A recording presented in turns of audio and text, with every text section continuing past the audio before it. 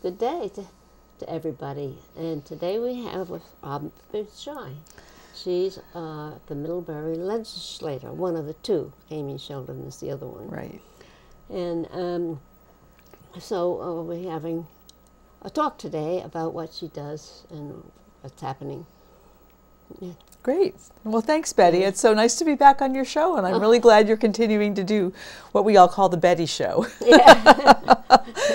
so you asked me to talk a little bit about the committee I'm on and what, what kinds of things we're doing, and uh, I could probably talk all day about that because it's pretty interesting, but I will uh, it's great that we have summarize it. So I'm on House Corrections and Institutions. Uh, and so uh, we're both a money committee and a policy committee. Uh, and the, uh, the, the policy side is around our correctional facilities, uh, our prison system in the state of Vermont. And so we do a lot of things related to that. And then the uh, institutions part is related to the capital budget. And so it's all the money that the state borrows to do their business. So anytime the state goes out to bond uh, for dollars, it all comes through our committee which means I pretty much talk to every agency in the state uh, about a wide variety of things. So, yeah. so, yeah. Um, so it's great. I had judiciary. Yes, yeah. and judiciary's had a lot of very interesting oh, things oh, happening. Yeah. Um, this year, every year they do. Yeah. And so, and, and we often work together, particularly with with regard to corrections, because uh, there are a lot of things that, um, for example, uh, bail reform impacts what happens in our correctional facility, and bail reform comes through judiciary. So um, you have sometimes have uh, committees meeting together on we, an issue. Yeah, we do. Uh, this year, we've actually had uh, we had a joint hearing uh, with House Health Care and Human Services and corrections uh, around uh, mental health and our correctional facilities. The Secretary of the Agency of uh, Human Services, Al Gobeille, we, the legislature asked them last year to take a look at the whole mental health system and the correctional facility. They're all come under humans, health and human services. Uh, and because we have we have a lot of issues and, and backup, particularly in our mental health facilities. Um, and most of this is not related to Hurricane Irene. A lot of times people think, well, we lost a lot of beds because when Hurricane Irene or Tropical Storm Irene wiped out the state hospital in Waterbury in oh, 2009, yeah. uh, uh, that we don't have as many beds. And in fact, we have the same number of beds. They are located in different places around the state now. So we have a uh, a psychiatric hospital in Berlin that has 25 beds, and the Brattleboro Retreat has an additional 14 beds, and Rutland Regional Medical Center has another six beds, and then the other uh, seven or eight beds are at um, what's called a secure residential facility in Middlesex. So we, we actually have virtually the same number of beds as we had before, but instead of in one location, they're spread out mm -hmm. uh, mm-hmm. around the state. And mental health problems have continued to, uh, the number of mental health problems have continued to increase over the years. So we do have backlogs um, of people, and everybody's heard stories about um, mental health patients being stuck in emergency rooms uh, of hospitals all around the state waiting for placement. Um, and so one of the things we're working on is trying to figure out the, the flow of mental health patients and where what kinds of facilities we need based on the kinds of treatment that, that people need. And, and our state hospital is only for people who are being involuntarily committed uh -huh. uh, for testing or competency or things like that. Um, so uh, that's sort of a very brief overview of it, but we're trying to look at the system and see what we need to do. And, and the, other pro the other issue is that um, there are people in our prisons, in our correctional facilities, who require mental health treatment, and they need a place to go to. And the prisons aren't always set up to handle uh, mental health patients. And so we're looking to put in what we call a forensic mental health unit in one of our one or two of our prisons or at least some beds so that we can help people who are in prison and have destabilized somehow uh, and need some help for a period of time but don't need to go to the psychiatric hospital. Mm -hmm. So we're trying to remove the roadblocks so that people can get the help they need when they need it. Mm-hmm. That costs That's very money. important. It is very important. Yes. It's very important uh, for, for all of us. So that's one of the things we've been working on. Um, uh, also, in the corrections area, we've been looking at um, opioid treatment for people within correctional facilities. Uh, in the last few months, the Department of Corrections has expanded their ability to treat people who have um, substance uh, problems. Uh, so that they can continue to get medication. Medic, we call it medically assisted treatment for these for opioid uh, disorder. And uh, now every correctional facility in the state, you can uh, uh, an inmate or offender can get 120 days of treatment. Before we had two or three facilities that offered 90 days, but the rest of the facilities didn't offer any treatment. And if you're coming off um, drugs it's, and detoxing, it's a very painful experience. So, Of course, they don't give drugs in.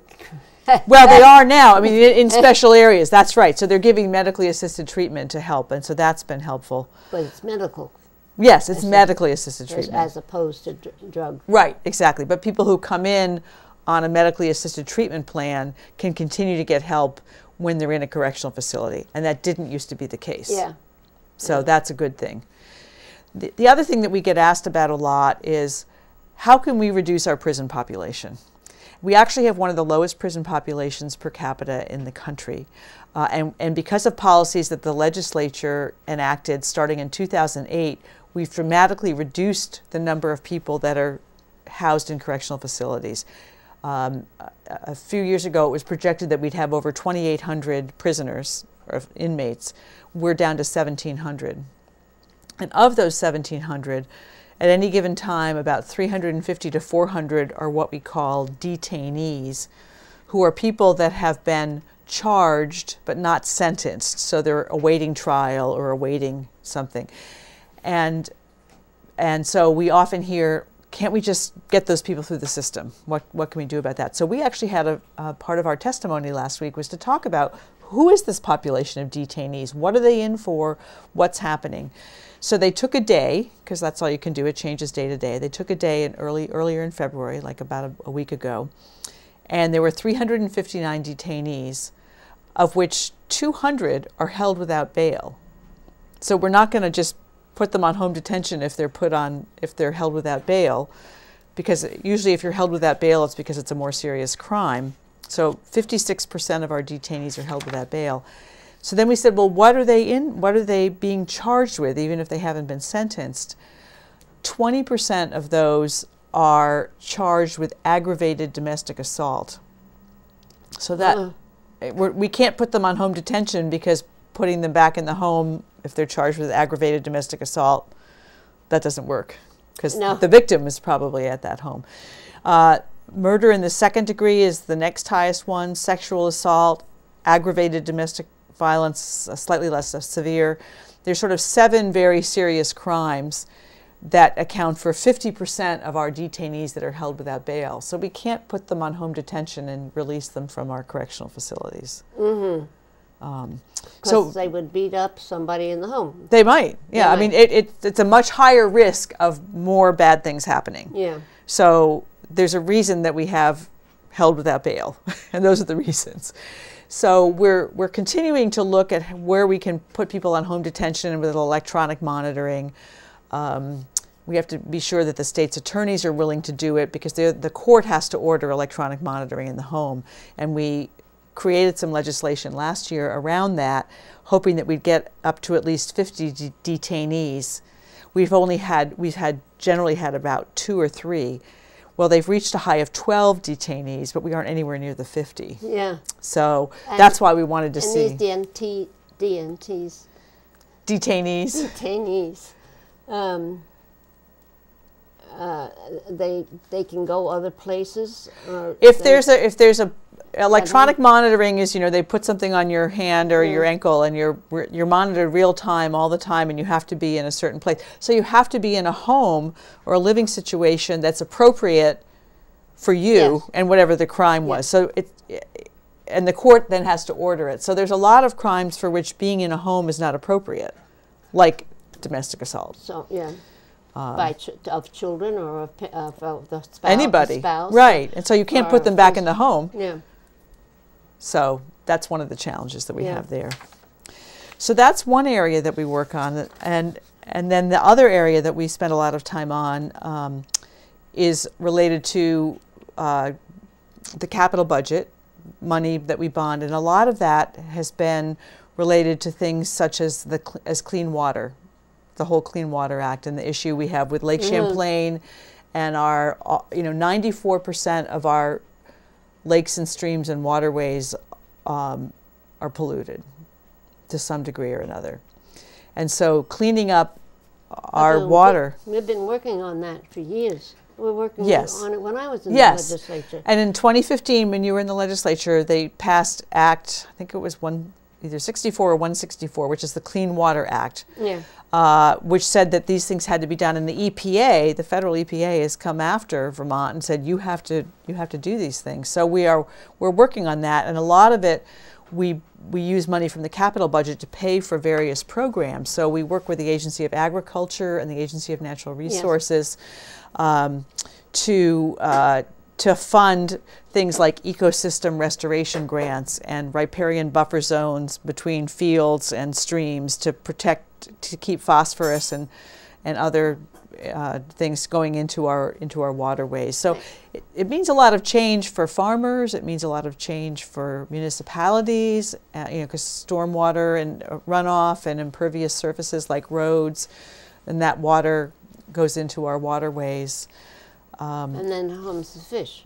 it can harm the fish, but it, you see Uh, the big algae blooms that have yeah. happened. You know, this last summer, the, the one that, it, that was most on people's minds was Lake Carmi um, in Franklin County, so a little inland. Um, but they had water blo- algae blooms. The whole lake turned green over the Uh-huh. summer, and uh, and we actually had somebody come in and talk to us for a couple of hours about Lake Carmi last week.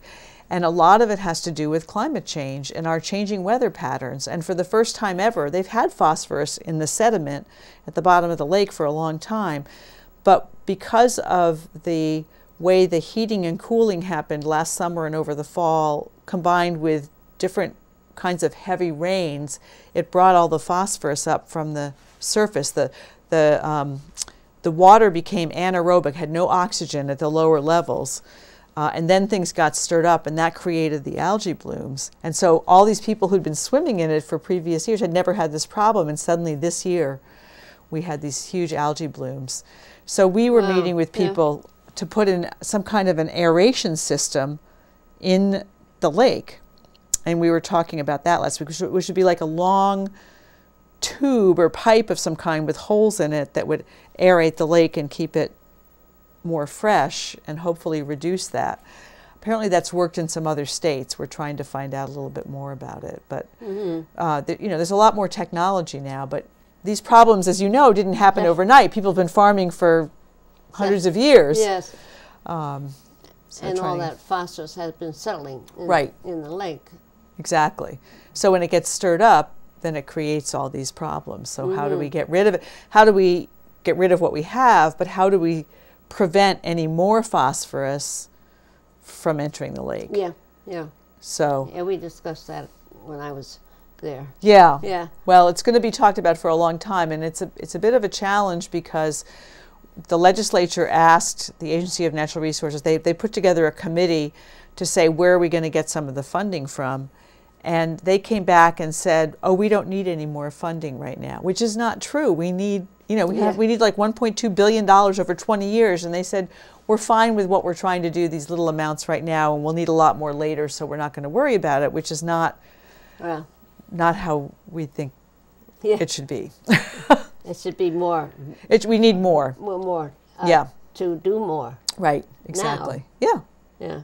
Yeah. Because it only gets worse if you just don't take care of it. Right. Right. We need to change behaviors, uh, and so you know that's why we're looking at how we can improve the soil. I think when you, Amy will come and talk to you about regenerative agriculture and improving the soils, which means not needing so much phosphorus. We're also looking at um, you know, there are places that have aerobic digesters, uh, and then they use some of the, so they take the manure and uh, you know, use it for heat, and then they have they can use some of the solids and end up making bedding for their cows and things like that. But I think we're going to have to look at big changes, and Mhm. we've already started that with required agricultural practices that uh, farmers are having to pay attention to now. So Mhm. there's certainly a, a lot of changes uh, underway. And they got to be helped or they'll go out of business. Right, and that's what a lot of our grants are for is to help is to help farmers with getting new equipment or new farming practices, uh, so that they can um, they can farm in a way that's good for them, but also good for the health of our soil and our lakes and our Mhm. waterways, because that's really important. If we don't have clean water, Yeah. you know, Yeah. for drinking and everything else, yeah. recreation, Bathing, yeah, Yeah. yeah. So Washing it's, dishes. it's pretty important. yeah. So that's we've spent a lot of time on that. Um, some of the other things that we do, we we heard from um, the police and fire, uh, state police and state fire academies. They're, they're, that are down in Pittsford, just south of us on Route Seven, the, where they do the police training. They also do fire training there, um, and uh, we're going to help fund what's called a burn building. The firefighters come in and they practice on a on a building, um, practice putting out fires on a building. And it's a building you can use many times, as it turns out, because you use sort of fake fire and smoke, and I don't know all the technical details. Well, when, when we did it, uh, we actually burned a building that was going to be torn down. but, hmm Uh, so it was a real building. Yes. And uh, we practiced on that. Right, But it was something that nobody wanted and it was right, useless. right. And I think there's still a lot of that going on. And but for training purposes, this is a specially constructed building that's three stories and has outside stairs and inside stairs and windows, and so they get to try to test Uh-huh. a lot of different situations Yeah. in one in one event, which is kind of cool. It turns out the the uh, police and fire academy have been uh, they're used all the time. They just do so much training that they don't actually have enough space to keep people overnight. Because some of the training could be 12 weeks long, uh, and so they're going to uh, renovate one of the buildings that are there and make it into some dorm rooms so that, more people can stay, so that we can get better training for folks. Oh, good. So that's a good Yeah, thing. So yeah. we just never know what we're going to be talking about. Oh, and then last week we had a conversation about drones. Oh, really? Yes, Yeah. and this may end up in your old committee and judiciary committee. I don't know. I think it will.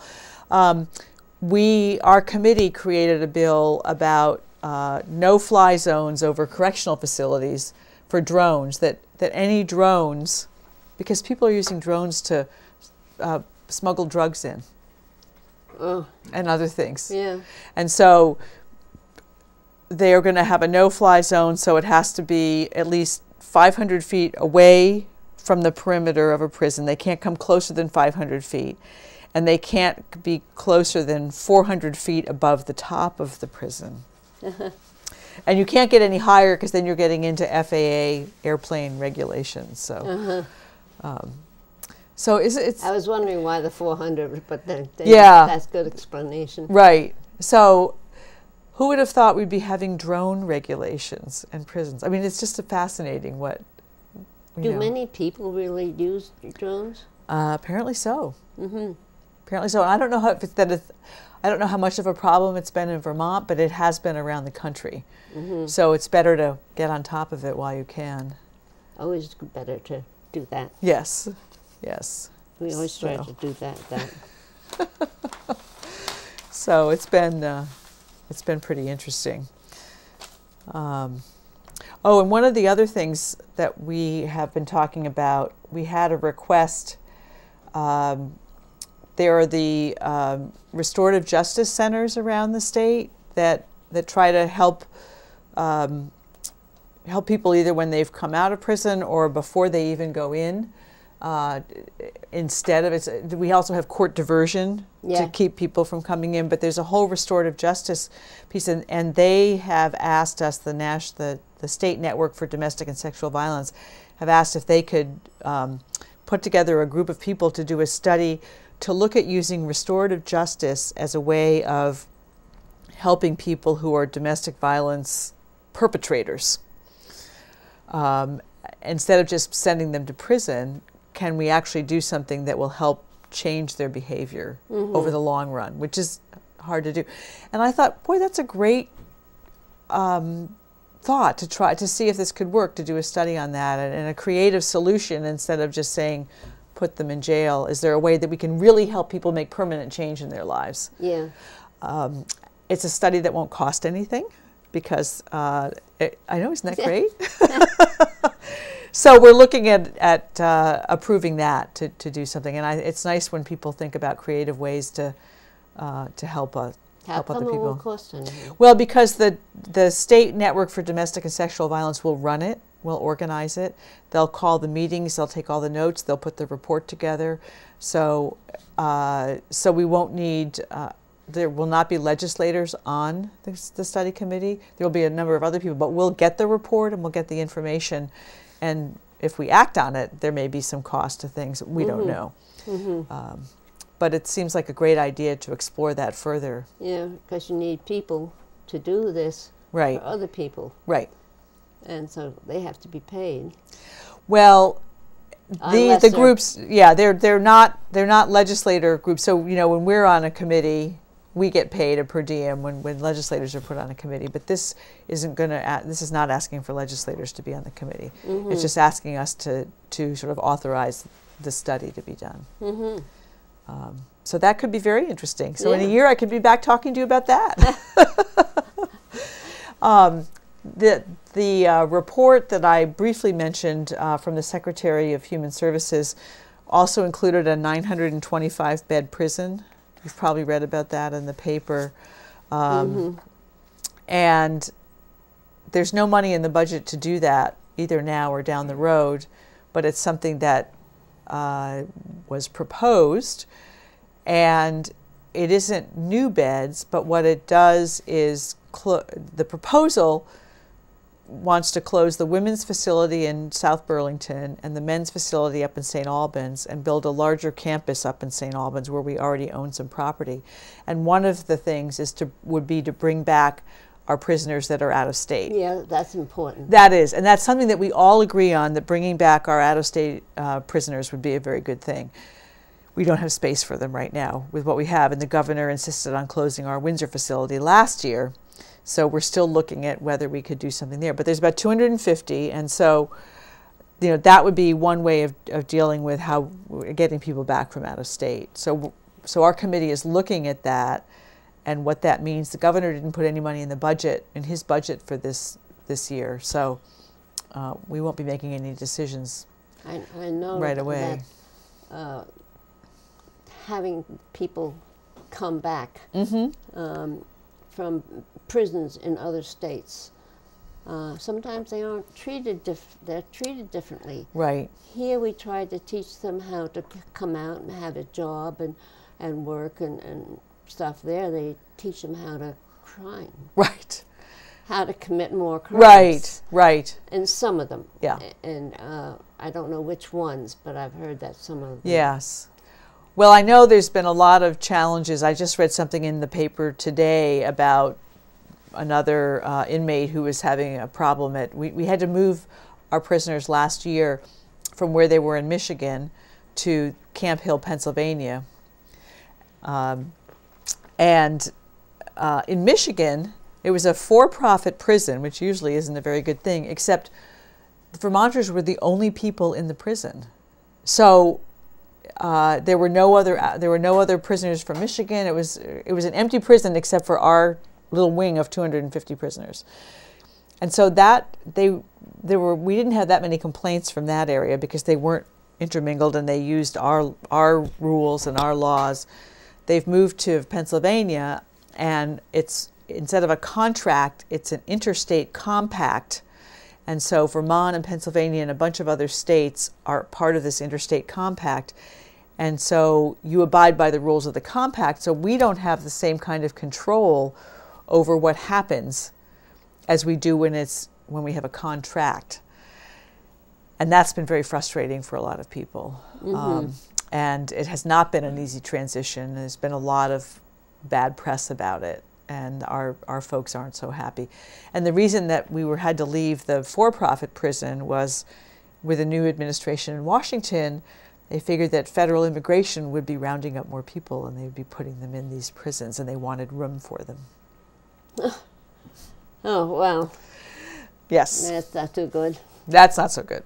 That's not- Uh, so we so- got about two or three minutes left. Is there something in particular that you wanted to uh, have Let the public know? check my notes. Well, yeah, so I, I think what I'd like people to know is that the Vermont General Assembly website is a great place for people to find out what's happening at the State House.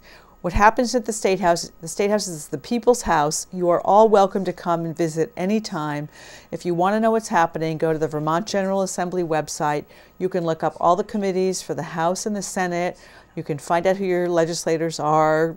You know who they are here. Uh, Yeah. But if you want to find out about other people's, and then you can go to a, you can click on a committee and find out what the agenda is for the week. If you want to find documents um, for what's happening, so I printed off some information about detainees that I was talking to. That's available to the public. They can go on the website and print this out. If people want to follow a bill, they can go on the website and find out about that. Uh, it Does also it come by topic or by number or both? comes by both. So uh, any number of ways you can find you can find out this information, uh, and I'm thrilled that people in Middlebury tend to be pretty engaged. I get a fair number of emails about different things, and I, and it's great. I like to know that. Um, people in Middlebury are paying attention, and you know. So, if you have any questions, you can email me at any time. Our legislative email addresses are on the website if people want to come up to the State House and let us know that they're coming up, we're happy to have lunch with people or introduce them. Um, I've had some people call saying, I could be a really helpful resource about this particular item. And that's great for me to know that I can call on them and say, Give me your opinion about this thing that we're talking about. So Yeah. uh, it's very accessible. That's what I really want to say Yeah. is that you can get a lot of information and people are very willing to talk to you and, and uh, help you find out the inform- get the information you need.